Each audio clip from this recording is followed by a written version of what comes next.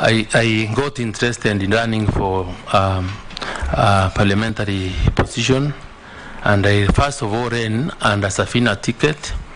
I lost the next election. I ran on uh, People. I lost, and then in the year 2007, I ran on a KANU ticket, and I was elected as a member of parliament for Igembe South. And from that time, I have been a member of parliament for three terms consecutively until last uh, last election when I decided to run as governor uh, for Meru and uh, lost to the current governor.